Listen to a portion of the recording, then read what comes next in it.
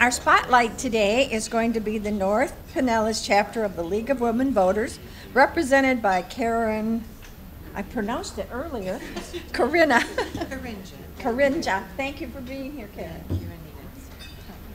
Good morning, everyone. It's nice for us to be here. We were here a number of years ago during another election season, and we hope to continue that tradition in the future. As you know, the League is very committed to education of our citizens. As a former and retired teacher, that's extremely important to me, and our efforts with you today in terms of moderating and timing this candidates forum is part of our efforts at that education. We have um, very little time today to do this, but it's going to be very informative. If any of you happen to have any questions that you have not yet turned in, if you would raise your hand and somebody would come by with a three by five card and then collect that from you. Okay, we are set to go. Thank you. Thank you very much, Karen. You're welcome. Now, the program. Oh, we're doing so great. We're, we're above schedule. That's fine. Kath, Kathleen Woods Malowski, Masowski is here to represent the League of Women Voters and run this program for you, and I'm going to go sit down.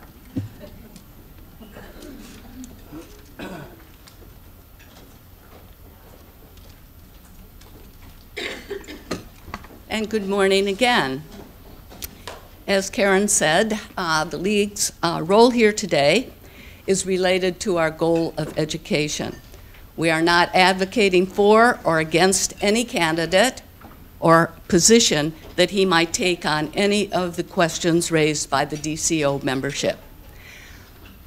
My name is Kathy Woods Masowski. I'm a long-term League member, but new to both the League and Dunedin. However, my husband and I represent the local league at these monthly meetings when we, as snowbirds, are here. As I think all of you know, the City of Dunedin operates under a nonpartisan commission manager form of local government. The commission is made up of four commissioners and a mayor who are elected by the registered voters under a staggered system. This year, there are three candidates up for election to the City Commission. One, Deborah Kynes, is here today, but running unopposed and is not involved in today's proceedings. The candidates for seat number four on Dunedin City Commission, Jeff Gow and John Tornga, the incumbent, are with us and have agreed to the following. Mr. Gow won the opportunity to choose the speaking order. He will be the last on the agenda to give his closing statement.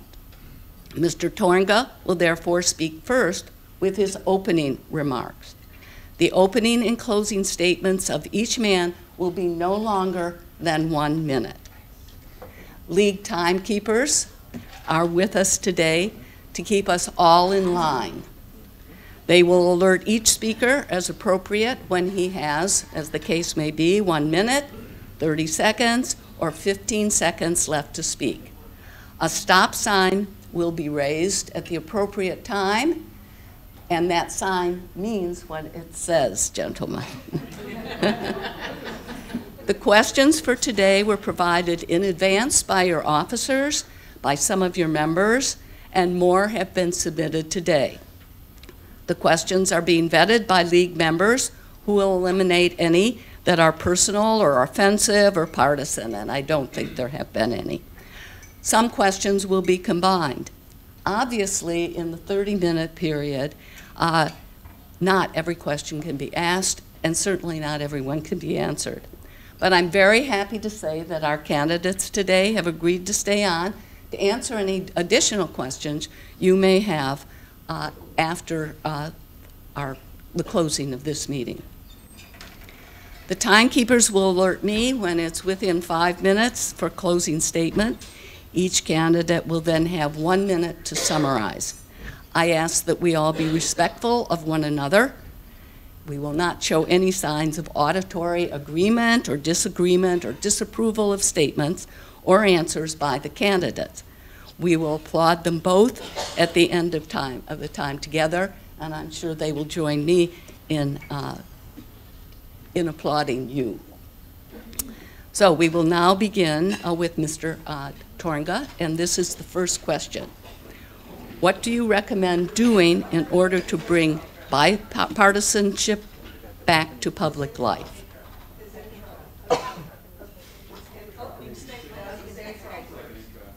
I'm sorry? He does his intro first, then the question. Oh, thank you. Duh, we're off to a good start. That was 20 seconds of my time.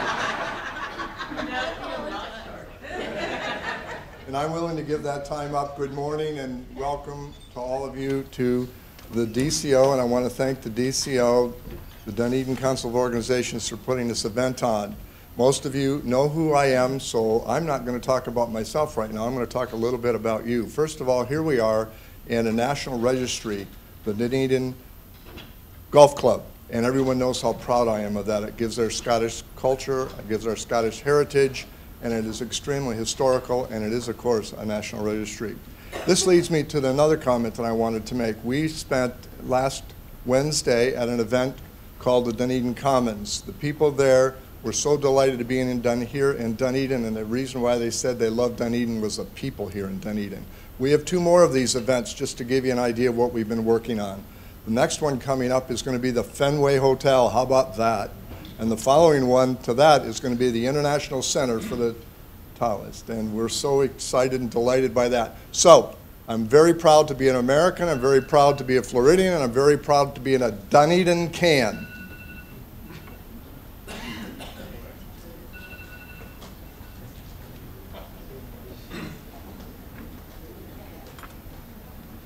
Good morning, everyone. Uh, most of you don't know who I am, so I'm going to have to tell you a little bit about myself. But first, thank you for the D- DCO for putting this event on this morning, and thank you for the League of Women Voters for hosting this event. Uh, again, my name is Jeff Gow, and I'm a candidate for City of Dunedin Commission, Seat 4. I was born and raised in this community, and I'm extremely passionate about Dunedin. Uh, I tell you that I'm the most passionate. There are actually 40,000 people who are passionate about Dunedin, and John did get that right. It's not about me, it's about you, it's about the community. Uh, I am civic oriented. Uh, my, my father taught civics at the junior high school, and it's kind of my orientation. I have 20 years' experience in the financial services industry. I was CEO, and I'm talking fast because I got 15 seconds left. Uh, as part of my CEO, my leadership skills are I'm vision driven, I'm results focused, and solution oriented. And so by that I mean that if you fail to plan, uh, you plan to fail, and if you get it right the first time. And I'm Jeff Gow, running for City of Dunedin, Seat 4. Thank you very much. You can stay right here because you're going to get the first question. Good. And you already Yay, know what it is. I'm excited about so- that. What to, I think I, can you hear me? So that we don't have to keep going back and forth. Okay.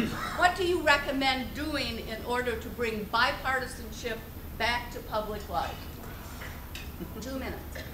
Two minutes on that, all right. Uh, to bring, you know, that is the beauty of local politics in Dunedin. It really isn't about party affiliation, it really is about the residents, it's about the community. And that really is, it, it leaves all the state issues, the, the national issues, uh, where, where they belong.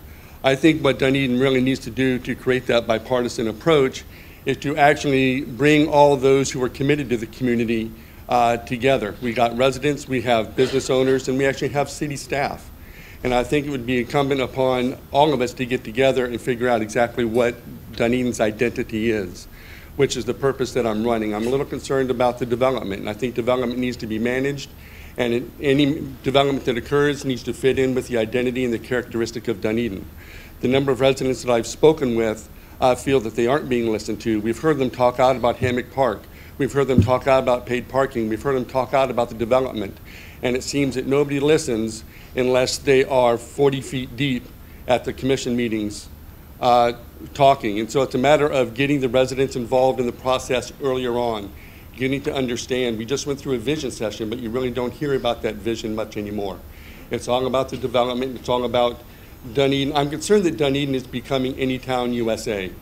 Uh, Dunedin is known for its identity. Actually, Dunedin is a destination uh, community. It's, it, uh, people come from all over, not just Clearwater and Palm Harbor, but they come from St. Pete, they come from um, Tampa, they come from Plant City, and they come to Dunedin for a reason.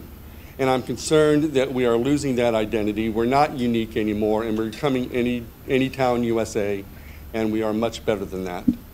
So it's just a matter of bringing everybody together and figuring out what Dunedin's identity is. Thank you.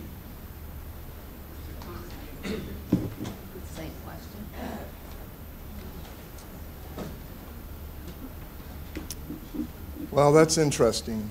Um, uh, An interesting question. Uh, I do not perceive us as any town USA, and I don't think any one of the commissioners, the mayor, nor anyone else that's involved in the city feels that. We've got such special people here in Dunedin. This is an exact example of why we have that.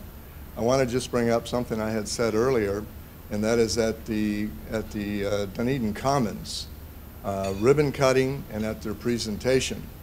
The main reason for success of the Dunedin Commons, which is an incredible asset uh, to Dunedin, and will bring, will bring a lot to Dunedin, was the fact of the success of Dunedin as announced by the president of Prime America. And he said it was the people and the staff of Dunedin that made Dunedin what it was, and he loved what Dunedin was. Now, most of the people at that function, uh, I'll, I'll tell you, all the people that I spoke with talked about how much they loved Dunedin. All of my friends, of course, loved Dun- Dunedin, and it goes on and on. We've had the selection uh, by, by the Fenway to, to be a, a, a grand, a grand hotel for us here. Uh, we have so many assets in Dunedin, but really the asset is in the people. And we talked about the nonpartisan side. Um, one of the biggest things I get while I'm walking is, what party do you belong to? And I tell them this is nonpartisan. And so I've come up with the name now, after all of the questions that I've been asked. I don't tell them I'm an American. You all know how proud I am to be an American. You know my background, most of you do know that. I don't tell them about being a Floridian, I live here. But I tell them I'm a Dunedin can, because Dunedin can be a self-actualizing city and is becoming one as we speak. Thank you. You can stay right here and answer this question. What is your position on the city's reserve fund, and what is your plan to maintain or, and/or improve upon those reserves? We have, in the city of Dunedin, a set policy for each one of our reserves. As most of you know, we operate, uh, well, really two sets of, of approaches. One is called an enterprise fund, and one is called a general fund. The enterprise fund takes care of itself, but we balance it each year. It does have a reserve requirement, and we have changed some of those recently. Um, but we maintain the reserve requirements. For example, we'll say a reserve requirement here from the operating funds is 15%. So at the end of the year, when we do the budgeting, we hope to see a 15% or above, or a justification of how we're going to get there. And that's how somehow, sometimes your rates are set. And the general fund, we do the same. And as you'll notice, we have a balanced budget each year. So that's very nonpartisan. And, uh, and we intend to, well, we will be always that, a balanced budget. Um, the reserve funds um, have, have had a lot of attention paid to them, both by staff over time and by the Board of Finance. We have an incredible group of people within this city.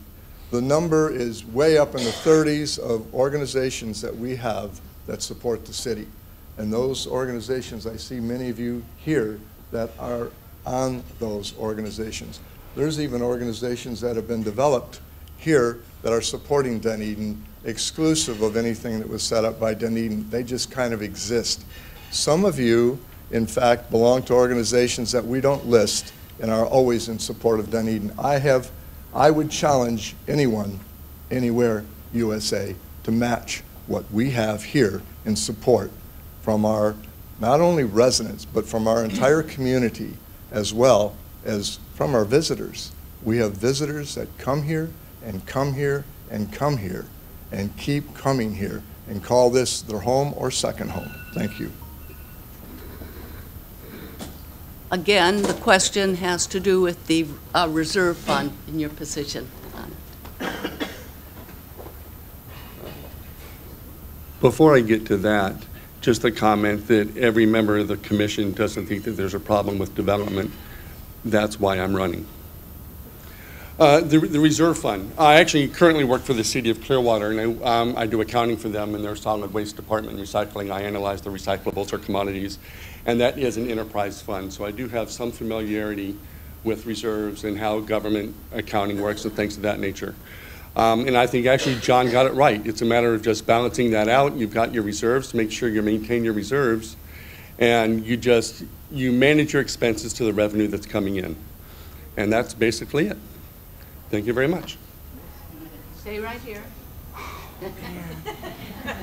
Is this working? Yes, it is. Okay. It's the year 2030. What three great things are in place in Dunedin that were in the planning stages in 2019? That's actually, that's actually a great question. Uh, What, what I'd like to see in, in 2030, or uh, my vision for Dunedin, is one of coming together. Um, I mentioned that I'm concerned about development. I think that development can be balanced with other types of economic growth. It- By the year 2030, I'd like us to expand our destination as a community. Right now, we are a destination community. As I mentioned before, people come from all over to our downtown. I think we can expand that destination concept by becoming, by becoming a destination for the arts. We have a fabulous fine arts community with uh, it's anchored by the, uh, the Dunedin Fine Arts Center. We have various artists in the community. Our visual arts are strong. Uh, our performing arts, I'm on the board of the Dunedin Scottish Arts Foundation. And so that supports the, the, the pipe bands in the area, and you all know that we are world champions, if you didn't know that. So uh, kudos to them. Uh, And I, so I'd like to expand on that arts program by bringing in um, theater arts. And I think that over time and development of that, we can have something similar to what the Capitol Theater has in downtown Clearwater and become that destination for the arts. I think we can be a destination for clean energy. I think that we can be that county that people look to that other cities want to emulate. I think there's a segment of our society, the younger generation, that first find a community that is focused on clean energy, and then and that's where they want to move. I think we need to focus on our small businesses. We are very proud of our small businesses. Uh, we have an incubator for small business. I think we blow that thing up and just really be, become that creative community where people that have ideas can come and share their ideas and really grow our small businesses. And um, I'm done. Thank you very much. Mr. Tornga, it's 2030. Would you repeat the question? Sure. What You three- do. What three great things are in place in Dunedin in 2030 that were in the planning stages in 2019? So a direct answer to that question specifically, let's start with number one, the Toronto Blue Jays. I know the mayor and the entire commission, as well as the staff, led by our abbreviated, I have an abbreviation for our city manager now, it's OCM, our city manager, and there's a story behind that, have worked diligently to make this happen. And it won't be in too many more days, then we're going to be seeing some additional activity in that area. And we are going to be going forward with, of course, as you all know, with a tremendous activity for the Toronto Blue Jays. The advantage of that is, well, that makes us a sports town, doesn't it, a little bit? Not only that, but we have the national team of Canada here in Dunedin, and they have been here for a period of time. In addition to that, we have the Talas here. And their international center is currently in Toronto.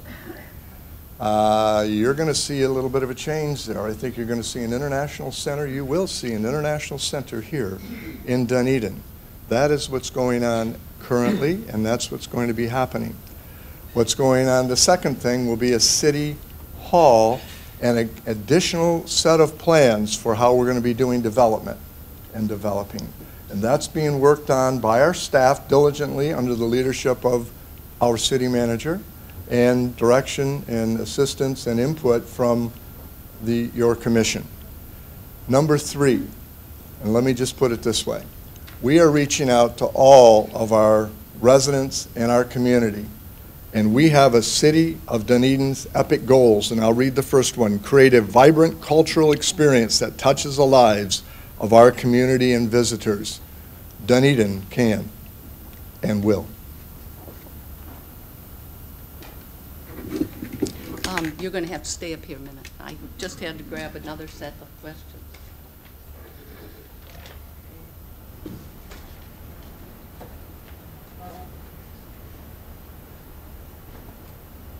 Downtown Dunedin is a legally designated community redevelopment area. Each and every member of the city commission serves by default as a member of the CRA board and their actions are held to account by the statutes governing the Community Redevelopment Act. Where do you see the future of our downtown CRA under your leadership? Well, I'm going to answer that question by starting with the first statement. Um, Under my leadership, I'm going to talk about our leadership, because we have two forums that are providing the leadership for our CRA. We have a CRA advisory community, of which I have served on previously. As a matter of fact, you probably saw me in a television ad about the carts, the karting, because that was the time when we got the approval for the carts, the golf carts that, that zip around our uh, livable and likable Dunedin. We have a CRA, and that CRA, mm, by default, but not by default, we met last night. We met for at least an hour solid, and perhaps an hour and a half, on some of the really important things that are coming before the CRA. Not only did we meet, but then there's a CRA advisory committee that's, shall I say, loaded with incredible people that continue to work on that CRA. It's 217 acres, and our downtown is in the CRA. CRA is a community redevelopment agency, and we get additional funds that come from the county, come from the county tax that comes in to support the CRA. So the CRA gets a little bit of a boost. And that was to create, if you'll recall, what Dunedin downtown area looked like in 1980. You want to go to 1985? Go ahead. You want to go to 1990? Go ahead. But that's the CRA. And right now you can see where we stand. And again, we are having a adjustment and adjustment will be provided shortly by staff to us, and we're well aware of what the issues are in, within that, to create an even more delightful Dunedin from a development side. You will be very proud of what you see. I will assure you. Thank you. And Mr. Gow, where do you see the future of our downtown CRA under your leadership?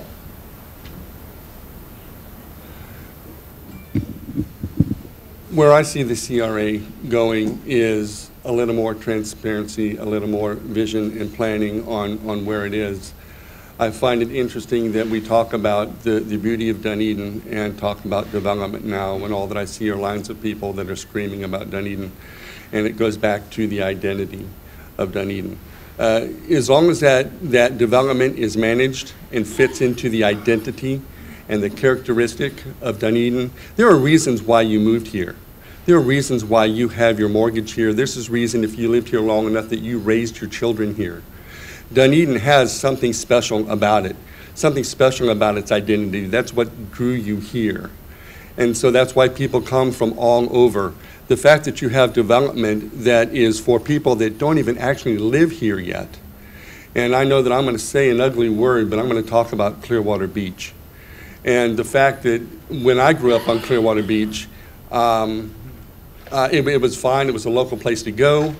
Uh, you enjoyed it. If you ask the merchants, how are things on Clearwater Beach today, they're going to say fabulous, hotels are full, uh, restaurants are full, things are great. If you ask the city commission, how are things on Clearwater Beach, they're going to say great, tax revenue is up, fabulous. If you ask the residents of Clearwater, if you ask those people that have their mortgages in Clearwater, that raise their kids in Clearwater, how are things on Clearwater Beach, they're going to tell you, I don't know, I haven't been in years. And that's what I'm afraid of in downtown Dunedin.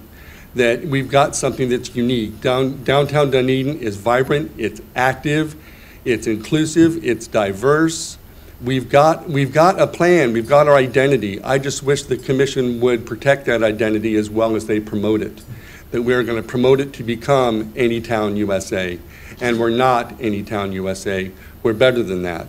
Our logo used to be Dunedin delightfully different. They changed it to now it's Dunedin, home of Honeymoon Island, which is just kind of a location. It might as well say Dunedin, just north of Clearwater. Dunedin is better than that. Thank you. Uh, a Change of gears here. In the city of Dunedin, we have a large and proud veteran population. If you yourself are a veteran and have served our country in honor, can you convey those experiences along with what you're doing now to continue to work with and support our veterans? I am not a veteran. Uh, My father was a veteran. Uh, He was in the Marines for nine years. Uh, He was at an embassy in Greece. He met my mother there, so they met in Greece, got married in, in Egypt. Not too bad for one person from Ohio and the other from Missouri, the Show Me State. Uh, Part of my, my father's time in the Marine Corps was at Camp Lejeune. And after he uh, got out of the service, he was sick most of his adult life. And he died of ALS when I was 17. And my mother to this day contributes that to his time in the service and his time at, at the camp. To the matter of fact, she still today receives widow benefits because of his time at Camp Lejeune. So, because of his experience, unfortunately, um, I was not allowed to serve. Although growing up, she'd tell you that I loved Admiral Farragut, and if I could get in a uniform, I would. I have a brother-in-law who is in law enforcement. So any type of service that anybody gives to our towns, our counties, our states, our country should be applauded, and it's well-deserved, whether you're in the military, whether you're in the police academy, whether you're in the police service, whether you're a firefighter, they all deserve the utmost respect, and we should hold them in that high esteem. Thank you.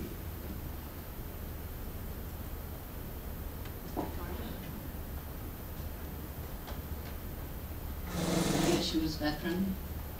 You want to take it? Uh, we uh, have a large and proud veteran population here.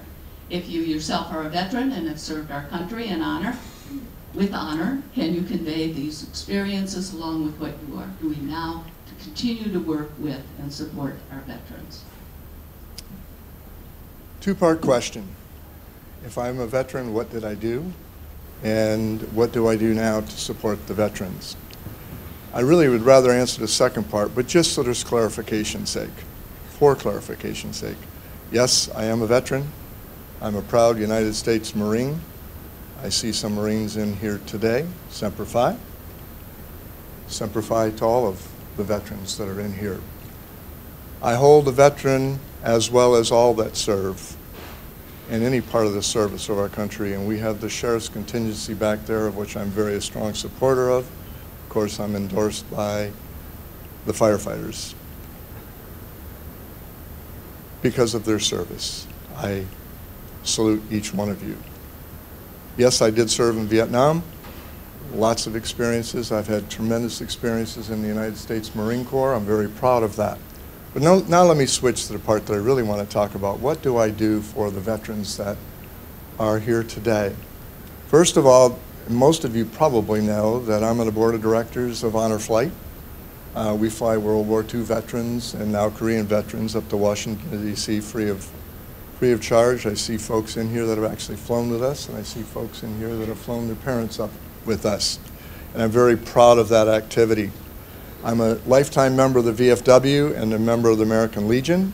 I'm a member of the Military Officers Association of America, and I see some of my fellow members here today, and thank you for being here. I'm a very strong supporter of the veterans. I, here we go with the word I. I helped form the United States Military Veterans Committee for the city of Dunedin. And the purpose of that is that whatever happens and occurs or has anything to do with veterans, it goes through that committee first. I'm very proud of being a veteran. Thank you. The Alt 19 uh, Curlew intersection, as well as the intersection of the trail and Skinner Boulevard, are important issues today. Would you please address these issues uh, and speak of the significance and explain what the issues are and what possibly can be done under your, or as you would say, our leadership? Well, I'm going to go fast on this one, and I'll throw out a few terms and words, but you can ask me about this later. I had the incredible opportunity of, of representing Dunedin on Forward Pinellas. Forward Pinellas, there's two parts of Forward Pinellas, forget the one part. Forward Pinellas represents what's called the MP, M, MPO, which is a Metropolitan Planning Organization. We're involved in transit and transportation. Um, I'm, of course, also a member of the Board of Directors of PSTA and on the Executive Planning and Legislative Committee. Uh, most of you know what I now call Alt 19. I call that the Dunedin Cultural Road. You'll see a lot more about that coming up soon. That's in the planning phase. I suggest that you stay really closely attached to that. I've also served on the on the Pinellas Trail Security Task Force, and I'm very, very much aware of some of the problems of transportation and, tra and traffic as it relates to the trail. As it relates to the Curlew intersection, we are all very concerned about that. We've had people out to look at that. It's going to be a complicated uh, transition if we attempt to do anything there. There's such a thing called a Michigan left. And if you don't know what that is, I don't have enough time to tell you what that is. But it means you take a right and you come back and go straight. And things, all of those kinds of things are being looked at, including any one of the new things that are being brought up by the Department of Transportation that will assist in making multimodal transportation effective here in Dunedin. And that's a great question because that's one of my major functions and focuses right now as far as I'm concerned, and that is complete streets. We received a $100,000 grant for planning, and now the city manager, OCR, OCM, is now putting in for a $1 million grant for Skinner, and that would be for complete streets. Complete streets simply means multimodal. Anybody and anyone can go on it safely. Thank you. Mr. Gow, the Alt 19 Curlew intersection, the Skinner, uh, the trail, Skinner Boulevard.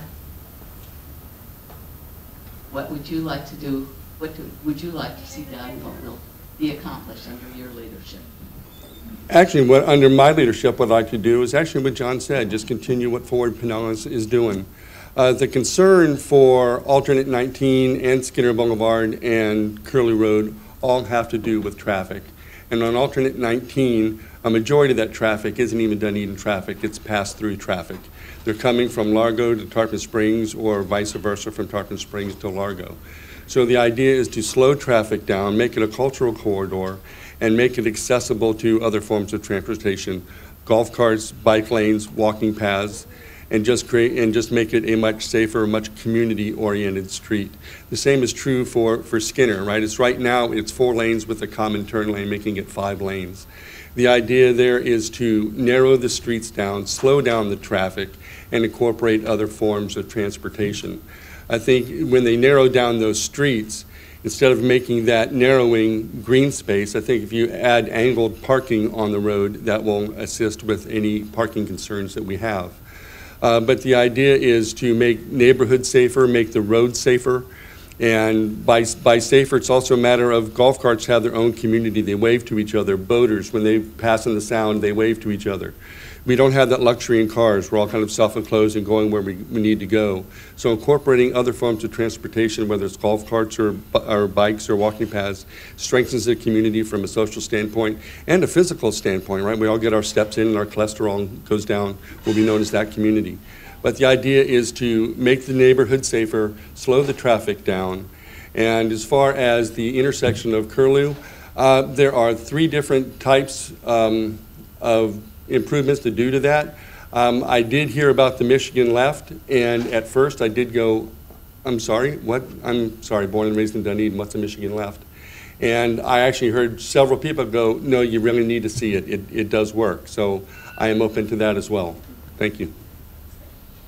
And what can the commission do to improve communication with residents? This is a general question, but the, the uh, author stated, we want to know what is happening before something is decided, not after. I think the commission should listen, and listen some more, and listen some more, and understand. I just call it active listening. You're not just hearing somebody, but you're understanding, you're comprehending what they're saying. I think, as I mentioned before, that the citizens have already spoken out. And I talked about three specific issues. I talked about Hammock Park, that was two years ago. I've talked about paid parking, and I talked about the development. We can talk about those as three separate issues, but you can also put them under the umbrella of just Dunedin's identity and what the residents are saying. I think now they're starting to just uh, get to the feeling that they're not understanding. When I talk, when I knock on doors, uh, and ask people how they feel about the development, either they're upset about it or they're apathetic and go, there's nothing we can do about it, it's out of our hands. So they feel that the commission isn't listening to them. Uh, What we like for our state legislators and our U.S. uh, representatives and senators are town hall meetings. We beg them for town hall meetings. So that's something that I'd like to incorporate, is to have town hall meetings and to get people together, share with them in advance. I think making the residents part of the process uh, helps with the improvement of the community, and it's just a matter of getting them involved sooner and listening to them. It's not, it's not my town, it's not their town, it's our town. And so it's just a matter of, I've got an idea, you've got an idea. Let's put all those ideas together and come up with one solution. I'm solution-oriented. I'd like to um, uh, not, um, I, I like to look at all ideas and consider everything and just come up with the best solution. So that's just a part of it. I think that uh, we can also do a better job through social media and Facebook. I understand that not everybody is on social media and Facebook, but just our, our TV uh, and just promoting exactly what's going on. You shouldn't have to wait for a commission meeting to find out what's on the agenda. Thank you. Mr. Tornga, what can the commission do to improve communication with residents? The author would like to know uh, what is happening before something is decided rather than after. Here is what the commission and staff are doing about that currently. We have a Citizens Academy. You can come to the graduation on October 30th if you wish. Um, This is a group of people that have gone through all aspects of our city, all the departments of our city. Uh, We have two deans that head that up under the auspices and uh, and watchful eye of our city manager. That is going to be offered to others who wish to join in on that, and we do have a number of people who would like to be on the, on the Citizens Academy. We were desirous of that for a period of time.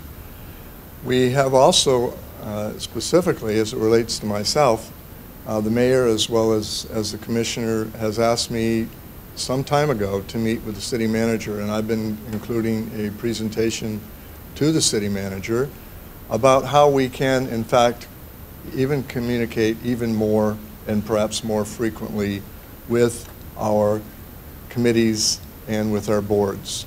And I'm not doing that purposely right now until after the election, uh, because I don't want it to become politi- politicized in, in any shape, manner, or form, and, and I'm going to do that regardless of what happens. So um, we do need to communicate more. Um, I started in my first year as a commissioner and uh, ended up in, uh, in, in some, some yelling session, listening to some yelling sessions at us where I recommended we do town halls, and we need to do more town halls. It doesn't mean everybody comes to the town hall, and we do have social media. And so we are increasing our emphasis on social media, and we are willing to talk with anyone at any given point in time, and we do want to bring these things out in front of all of our community, including our visitors, as we move forward on any issue that might affect the community. Thank you. And I have been sig- uh, signaled that we have five, approximately five minutes left in the program. And so there it is, therefore it is time for closing remarks. And since Mr. Gow is the lucky one to be the last to speak, uh, Mr. Tornga, it's your opportunity to take one minute to give your uh, closing remarks. Well, here we are, at the end. Here I am in front of people that I know, from all the organizations that I'm familiar with, having served on this organization as a board member and, of course, as your first vice president. I have been very active in a number of areas within the city of Dunedin. You, most of, most of you know what those are. Lots of committees, lots of boards prior to becoming a commissioner. And now as a commissioner, I am extremely, I feel I am extremely experienced and knowledgeable with the organizations that we will be working with and utilizing to make Dunedin can self-actualize and become even better, yet while retaining the feeling and the vibration that we have from all of our residents, community, and visitors as they visit Dunedin. Dunedin can and will be even better in the future. Thank you. Mr. Gow, the stage is yours.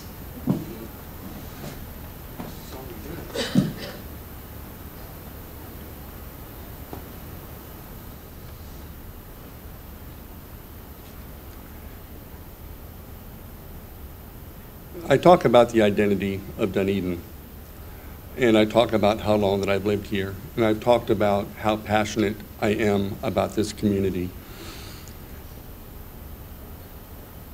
My concern is for Dunedin, and what I hope to change is the idea of creating a true identity that everybody believes in. Uh, You've heard me talk about the development. I've talked to several residents who are all concerned about the development. At one point, Dunedin was voted most charming city.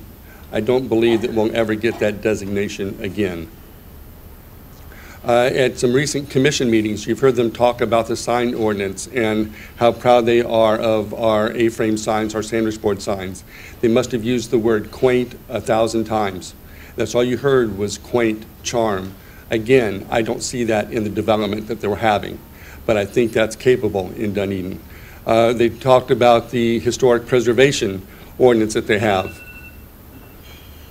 and how sad it is for a sense of loss you have when you see an older building go down. I feel that same sense of loss when you see a, a building go up against something that was precious. And so you can feel loss on both sides. I'm Jeff Gow, City of Dun- Dunedin Commission, seat four, and I approve this message.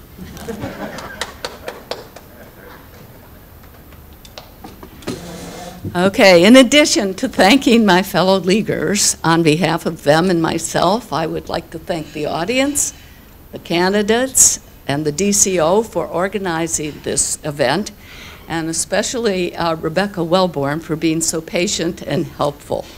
I hope that we all can work together a- on another occasion